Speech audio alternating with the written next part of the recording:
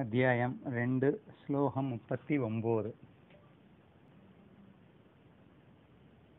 இந்த ஸ்லோகத்துல இருந்து கர்ம யோகத்தை ரொம்ப எலாபரேட்டாக எக்ஸ்பிளைன் பண்ண போறாங்க. அதாவது போன ஸ்லோகம் வரைக்கும் இல்லை போன ஸ்லோகத்திலே ஆரம்பிச்சிட்டாங்க. ஆக்சுவலாக சுதர்மானுஷ்டானத்தை நீ எப்படி பண்ணணும் அப்படின்னு சொல்லி. ஸோ அது கர்ம யோகம் ஸோ கர்மம்னா என்ன? செய்ய வேண்டியதை செய்யறது அந்த செய்ய வேண்டியதை செய்கிறது எஃப் எப்படி செய்யணும் அப்படிங்கிறது ரொம்ப ரொம்ப முக்கியம். நீ செய்ய வேண்டியதை செஞ்சுட்டா மட்டும் வந்து நீ கரெக்டாக செய்கிறேன்னு சொல்ல முடியாது. அப்போ அந்த ஈகோ இல்லாமல் நம்ம சொல்லுவோம் இல்லையா? வெறுப்பு வெறுப்பு இல்லாமல் ஈகோ இல்லாமல் பட் இந்த இடத்துல அந்த மாதிரிலாம் எதுவும் சொல்ல போகிறதில்ல கர்மயோகத்தில் என்ன சொல்லியிருக்கோ? அதாவது நீ செய்கின்ற செயலினுடைய பலன் நீ எதிர்பார்க்கக்கூடாது எதிர்பார்க்கக்கூடாது அப்படிங்கிறத விட அதில் லாக் ஆகாமல் அதில் அடிமையாகாமல் நீ உன் கடமையை பண்ண. இப்போ உதாரணத்துக்கு அவன் யுத்தம் பண்ணிட்டு இருக்கான் அப்படின்னு சொன்னா அந்த யுத்தத்துல வெற்றியும் கிடைக்கலாம் தோல்வியும் கிடைக்கலாம். ஆனா இப்போ இங்க தர்மத்தை நிலைநாட்ட வேண்டும் என்பதற்காக நீ அந்த யுத்தத்தை ஸ்டார்ட் பண்ணிட்ட.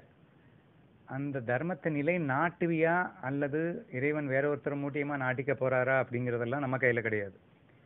ஸோ அது நம்ம நமக்கு தெரியாது. ஸோ அந்த விஷயத்துல பட் சிறமேற்கொண்டும் தர்மத்தை நிலைநாட்ட போராட வேண்டும். அந்த போராட்டத்தில் வெற்றியோ தோல்வியோ அதை மனமும் வந்து ஏற்றுக்கொள்ள வேண்டும். ஸோ இந்த ஒரு பிரின்சிப்பில் தான் சுதர்மானுஷ்டானத்தை அனுஷ்டிக்கும் முறை. ஸோ செய்ய வேண்டியதை செய்கிறது பெரிய விஷயம் இல்லை. அதை எப்படி செய்யணும் அப்படிங்கிற விஷயத்த போன ஸ்லோகத்திலே சொன்னார். இந்த ஸ்லோகத்திலேருந்து அதை ரொம்ப டீட்டெயிலாக டீட்டெயிலாக டீட்டெயிலாக எக்ஸ்பிளைன் பண்ண போகிறாங்க நம்ம படிப்போம். இதுவரைக்கும் சாங்கியர்களுடைய கோட்பாட்டை சுருக்கமாக சொன்னேன். சாங்கிய யோகம் அப்படின்னு சொன்னா ஞான யோகம் அப்படின்னு அர்த்தம். அதாவது நம்ம படிக்கிறோம் இல்லையா? ஐ ஆம் ஆல் அனைத்தும் பிரம்மம் அனைத்தும் மாயை. பிரம்மம் ஒன்றே உண்மை சத்தியம். மாயை அசத்தியம். ஆனால் அந்த பிரம்மமேதான் சத்தியமேதான் இங்கே அசத்தியமாக இருக்கின்றது மாயையாக இருக்கின்றது. அப்படின்னு நம்ம படிக்கக்கூடிய அந்த விஷயங்கள் எல்லாமே சாங்கிய யோகத்தை சேர்ந்ததாக இருக்கின்றது சரியா?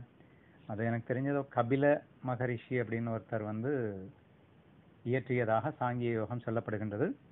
அந்த சாங்கிய யோகத்திலிருந்து நான் இதுவரை பேசினேன் அப்படின்னு கண்ணன் சொல்கிறான் இதில் நம்ம என்ன ஒரு பெரிய விஷயம் புரிஞ்சுக்க வேண்டியது இருக்குது அப்படின்னா கண்ணன் தான் எல்லாமே அவன்தான் பரபிரம்மம் சரியா? இப்போ பரபிரம்மமாகிய நான் சொல்லுகின்றேன் அப்படின்னு சொல்லலை.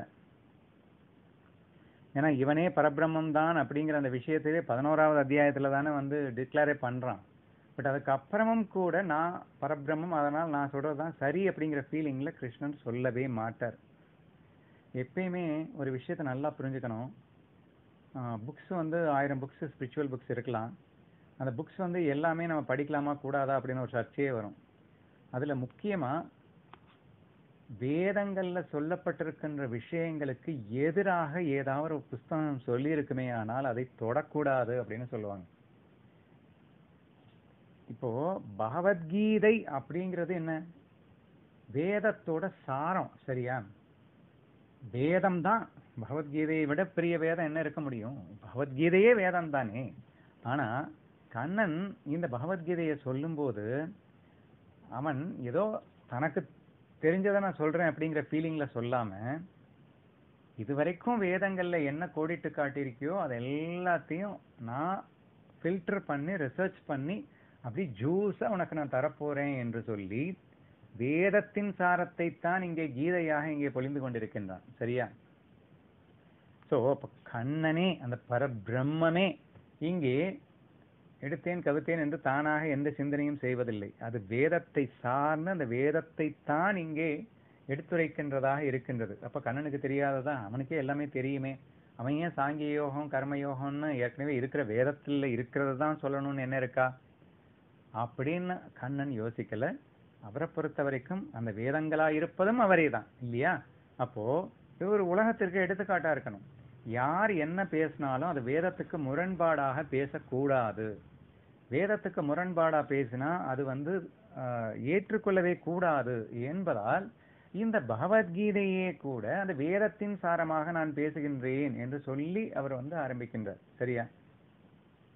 அப்ப இங்க என்ன அழகா சொல்லியிருக்காருன்னா இதுவரைக்கும் நான் பேசினதெல்லாம் சாங்கிய யோகம் அப்படின்னு சொல்லப்பட்ட அந்த வேதத்தில் இருக்கின்ற அந்த விஷயத்தை தான் நான் பேசினேன். அப்ப ஏன் இஷ்டத்து கண்ணை மூடிட்டு நானா சொல்லல.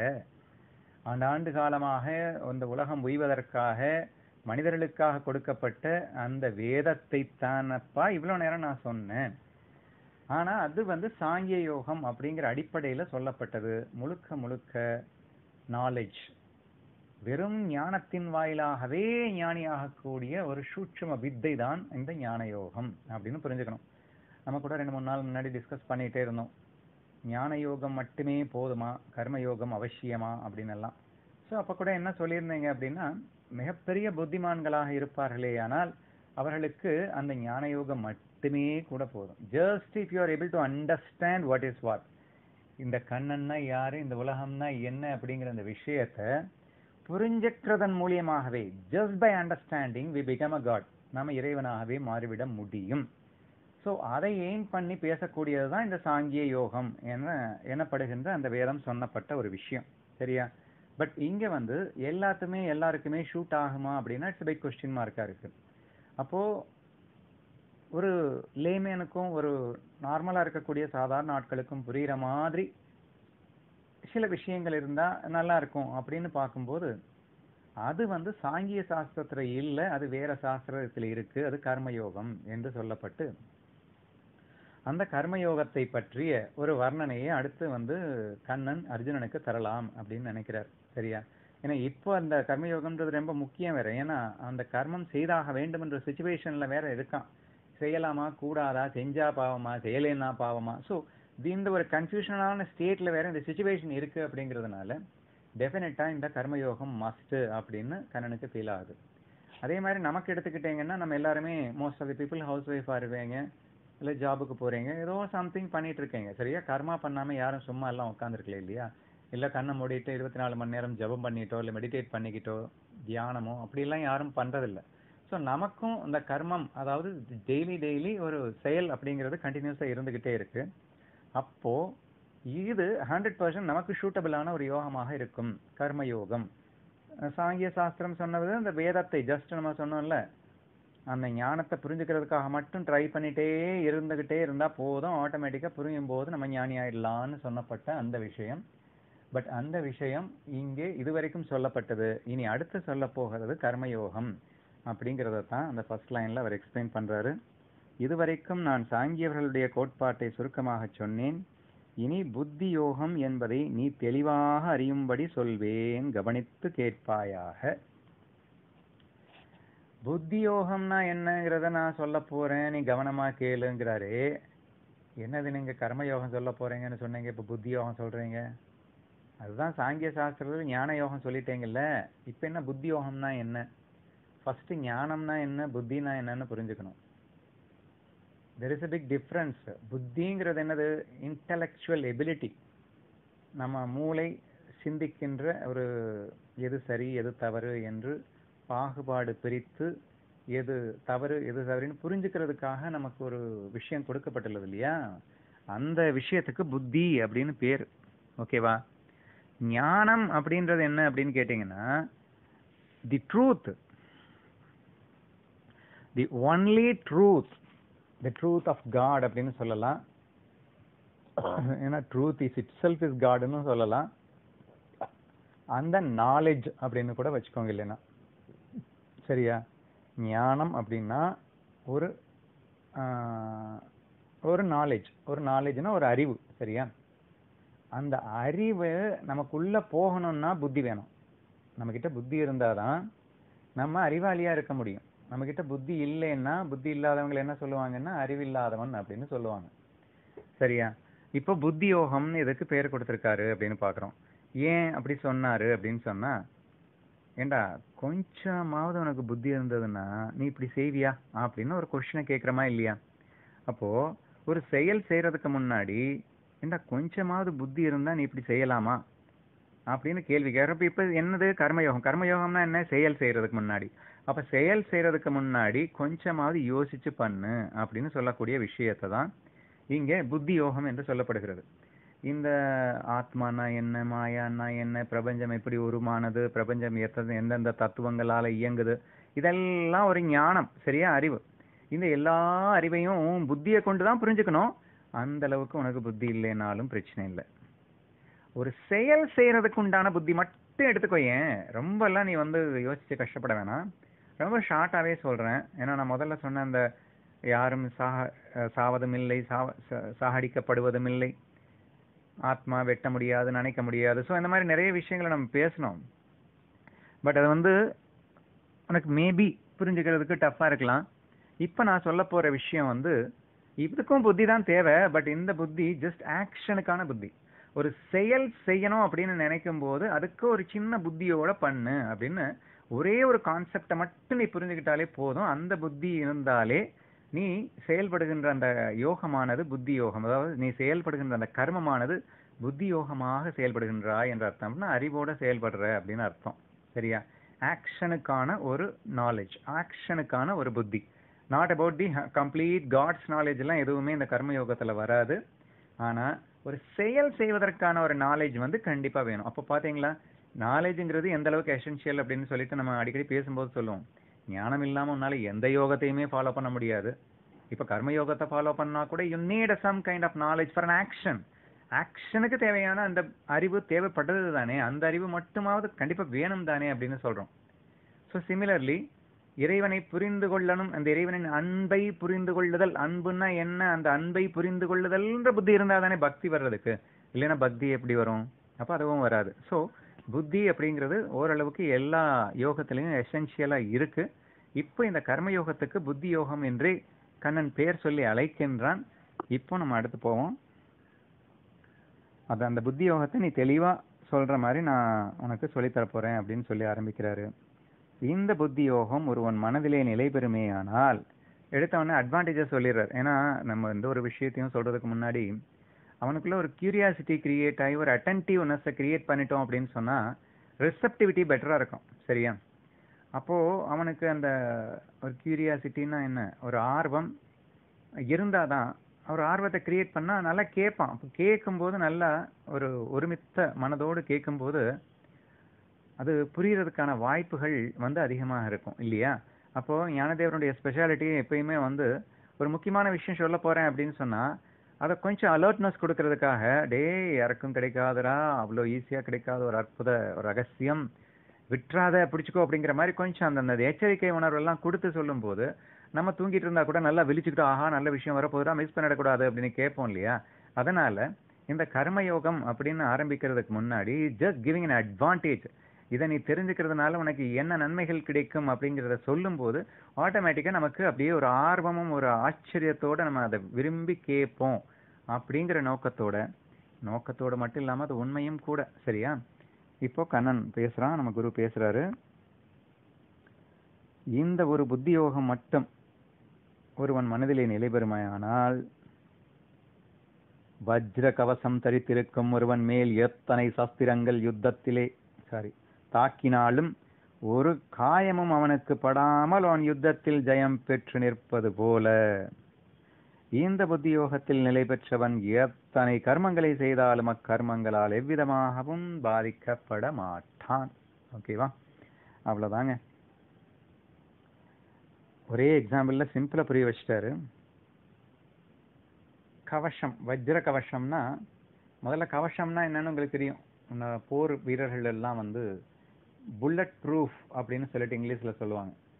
புல்லட் ப்ரூஃப் காட் அப்படின்னு சொல்லுவாங்க இல்லையா? ஒரு கவசத்தை மேலே போட்டுக்கிட்ட அப்படின்னா யாராவது கத்தியால் வெட்டினாலோ சரி அல்லது ஒரு துப்பாக்கி குண்டினால் பாய்ச்சினாலும் சரி அது நம்ம மேலே வந்து படாது. ஏன்னா அந்த கவசம் வந்து அதை தடுத்து நமக்கு பாதிப்பு ஏற்படாமல் பார்த்து கொள்வதற்காக யூஸ் பண்ணுகிறதுக்கு பேர் தான் இந்த கவசம் அப்படின்னு சொல்லுவோம். இதுல வஜ்ர கவசம் அப்படின்னு சொன்னால் ரொம்ப ரொம்ப ரொம்ப ஹார்டு அதாவது அதை வந்து பிரேக் பண்ணவே முடியாது அப்படின்னு வச்சுக்கோங்களேன். அந்த அளவுக்கு எக்ஸ்ட்ரீம் ஸ்ட்ராங்காக இருக்கக்கூடிய ஒரு கவசத்திற்கு வஜ்ர கவசம் அப்படின்னு பேர். இந்திரனுடைய இந்திரனுக்கு வஜ்ராயுதம் அப்படின்னு சொல்லுவாங்க. ஸோ அவனுடைய ஆயுதம் வந்து எக்ஸ்ட்ரீம்லி ஸ்ட்ராங்கான ஆயுதம் அப்படிங்கிறதுக்காக வஜ்ராயுதம் அப்படின்னு சொல்றதுண்டு. இப்போ இந்த வஜ்ர கவசம் போர்ல ஒருத்தன் போட்டான்னா பேர் வந்து சஸ்திரங்களை போட்டு தாக்கினாலும் அது அவனுக்கு ஒரு பாதிப்பையும் பெற்று தராது இல்லையா? அதே மாதிரி இந்த எக்ஸாம்பிள் எவ்வளவு அழகா லிங்க் பண்றாருன்னா இந்த ஒரே ஒரு புத்தி புத்தியோகம்னா என்ன? நாலேஜ் ஃபார் அன் ஆக்ஷன் செயல் செய்யறதுக்குன்னு ஒரு சின்ன நாலேஜ் நான் உனக்கு தரப்போறேன். இது ஒன்று மட்டும் ஸ்ட்ராங்கா நீ பிடிச்சுக்கிட்டேன்னா இது எப்படி எப்படின்னா நீ ஒரு புல்லட் ப்ரூஃப் கார்டு போட்ட மாதிரி. இந்த ஒரு நாலேஜ் உன்கிட்ட இருந்தது அப்படின்னு சொன்னா நீ என்ன ஆக்ஷன் பண்ணினாலும் அது உன்னை பாதிக்காது அப்படின்னு சொல்லியிருக்காரு. இது என்னது? புல்லட் ப்ரூஃப் கார்டு போட்டா மத்தவங்க என்னதான் நம்ம மேல பண்ணா அது பாதிக்காதுன்னு சொல்லுங்க. நம்ம புல்லட் ப்ரூஃப் கார்டு போட்டு நம்ம பண்ற ஆக்ஷன் நமக்கு எதுக்கு பாதிக்க போகுதுன்னா இல்லங்கமே அங்கதானே இருக்கு. இன்னைக்கு உலகத்துல நீங்க ஒரு கஷ்டம் வருதுன்னா அது நம்ம பண்ற ஆக்ஷன்னால தான் வருது. உலகத்துல வேற யாராலையும் எந்த தொந்தரவும் வராது. சரியா? நம்ம ஒரு வெறுப்பின் வெறுப்பின் அடிப்படையில ஒரு அகங்காரத்துல ஒரு திமிழ் பிடிச்சி போயிட்டு ஒரு ஆக்ஷனை பண்ணிட்டு அதனுடைய பின் விளைவுகள் வரும்போது உட்காந்து அல்றது அப்படிங்கிறது தான் நமக்கு வாடிக்கையா இருக்கு. சரியா? அதனால தான் இங்க சொல்றாரு இந்த நாலேஜை நீ கவசமா போட்டுக்கிட்ட அப்படின்னு சொன்னா நீ எத்தனை வெட்டுக்கள் விழுந்தாலும் எப்படி உனக்கு பாதிப்பு ஏற்படாதோ அதே மாதிரி என்ன செயல் செஞ்சாலும் உனக்கு பாதிக்காதுரா நீ எத்தனை செயல் வேணா பண்ணிக்கோ என்ன செயல் வேணா பண்ணிக்கோ. கண்டிப்பா அந்த செயலின் பின் விளைவுகளானது உன்னை பாதிக்காது. அப்படின்னு சொல்லி ஒரு மிகப்பெரிய அட்வான்டேஜை நமக்கு ஒரு முன்னாடி நிறுத்தி காட்டுறாங்க. ஏன்னா இதை கேட்கும்போது நமக்கு என்ன ஃபீல் வரணும் அப்படின்னு சொன்னா நமக்கு ஒரு பெரிய பயம் எப்பயுமே இருந்துக்கிட்டே இருக்குங்க. நான் செய்யறது சரியா தவறா? இதை செய்யலாமா கூடாதா? இதை செஞ்சால் நாளைக்கு என்ன ஆகுமோ ஏது ஆகுமோ? ஸோ தீஸ் தாட்ஸ் வந்து நமக்கு கான்ஸ்டண்ட்டாக எல்லார்கிட்டையும் இருக்கக்கூடிய ஒரு விஷயம் தானே? பயத்திற்கு மூல காரணமே அதுதானே? May most of the people பார்த்தீங்கன்னா ஆக்ஷனுக்குள்ளேயே போக மாட்டாங்க. பிளானிங் பார்ட்லேயே நின்றுடுவாங்க ஏன் அப்படின்னா அவங்களுக்கு பயம். ஏன்னா இந்த பிளானிங்கை நான் எக்ஸிக்யூட் பண்ணும்போது ரிசல்ட் என்ன ஆகுமோங்கிற பயம். இப்படி ஒரு ஆக்ஷனுக்கு பண்ணுறதுக்கு முன்னாடி நமக்கு இவ்வளோ ஒரு பயம் ஏற்படுது இல்லையா? ஆனால் இந்த நாலேஜ் நீ யூஸ் பண்ணிக்கிறேன்னா அந்த பயமே ஏற்படாது அப்படிங்கிறாரு. ஏன் அப்படின்னா அவனுடைய ரிசல்ட்டு ஹண்ட்ரட் பர்சன்ட் பாதிக்காது. ஏன் பயப்படுற? என்ன ஆகுமோ ரிசல்ட் ஏதாவது ஆயிடுமோன்னு தானே பயப்படுற? ஆனா எதுவும் ஆகாதுடா. ஹண்ட்ரட் பர்சன்ட் உனக்கு சாத்தியம் உனக்கு ஃபேவரா தான் ஆகும். அப்படிங்கிற மாதிரி ஒரு கோடிட்டு காட்டிட்டாரு அப்படின்னா என்ன ஃப்ரீடம் பாருங்க. நான் இதை செய்யலாமா? செய்யலாமா? அவர் பேசுறது. நம்ம இப்படி பேசலாமா? கூடாதா? நான் கத்தி பேசுறேனா? இல்லை நான் சாஃப்டா பேசினேனா? நீ கத்தி பேசு பேசிக்கோ. சாஃப்டா பேசுவியோ பேசிக்கோ. எப்படி குசு குசுன்னு பேசுவியா? பேசிக்கோப்பா. நீ எப்படி வேணா பேசு. நான் இந்த இடத்துல அடிச்சது தப்பா தவறா நீ கொலை கூட பண்ணு. இந்த இடத்துல நான் வந்து அவங்க கிட்ட இருந்து பணம் எடுத்து இவர்கிட்ட கொடுத்துட்டேன் இது சரியா தப்பா கொல்ல கூட அடி. So that what a great freedom we have இப்போ நல்லா பாருங்க. நீ என்ன செயல் வேணா பண்ணு. ஸோ அந்த மேஜர் அட்டன் அண்டர்லைன் பண்ண வேண்டிய வேர்டு திருப்பி படித்து காக்குறேன். எத்தனை கர்மங்களை செய்தாலும் கர்மங்களால் எவ்விதமாகவும் பாதிக்கப்பட மாட்டான். நீ என்ன ஆக்டிவிட்டி வேணா பண்ணு. எத்தனை செயல்கள் வேணா பண்ணு. என்ன செயல் வேணா பண்ணு. அது எந்த விதத்திலும் உன்னை பாதிக்கவே பாதிக்காது. எப்படி வந்து வஜ்ர கவசம் போட்டவனா எத்தனை சஸ்திரங்களை கொட்டி எப்படி வெட்டினாலும் அவனுக்கு எப்படி பாதிப்பு ஏற்படுத்தாதோ அந்த மாதிரி தான் இந்த நாலேஜ் நான் சொல்ல போறது. ஸோ அதனால இதை கேர்ஃபுல்லாக அட்டென்டிவாக லிசன் பண்ணு. அந்த கர்மத்தை எப்படி செய்ய வேண்டும் என்று இந்த சூட்சுமத்தை சொல்லித்தரேன் அப்படி என்று இந்த ஸ்லோகத்தில் சொல்லியிருக்கின்றார்.